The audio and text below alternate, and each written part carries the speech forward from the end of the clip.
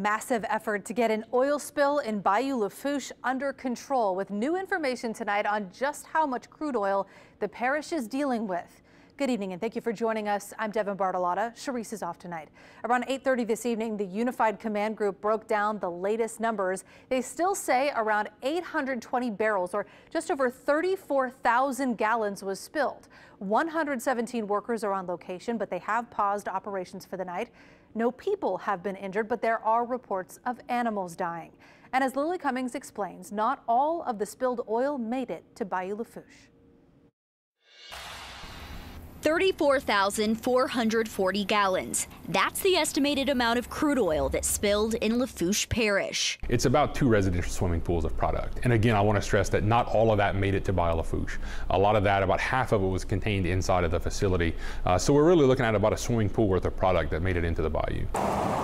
The source of the leak is Crescent Midstream, a hub that sends crude oil from offshore to refineries in other parishes. Parish President Archie Chaisson says two smaller tanks on the property caused the issue. We do know that they had some tanks inside their berm and there was some type of failure there that allowed the release of the product. We want to explain exactly how this oil made it from Crescent Midstream's facility behind me here in Raceland into Bayou Lafourche. As you can see, that oil ran into this drainage ditch. It made made it all the way to this large drainage culvert.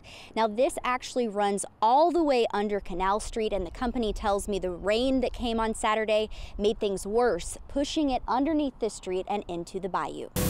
Now the Unified Command, which includes the EPA, Louisiana Oil Spill Coordinator's Office, Lafourche Parish Government, and Crescent Midstream, will investigate exactly how the oil escaped. On Monday, Chaisson got this bird's eye view of the spill from a helicopter with Crescent Midstream's CEO. It speaks to the magnitude of the situation, uh, that their CEO came in all the way from Houston. They understand the, not only the sensitivity of Bayou Lafourche, it's our drinking water source, but just the cultural heritage that we have here. Speaking of drinking water, precautionary booms were placed near the water intake and in this reservoir.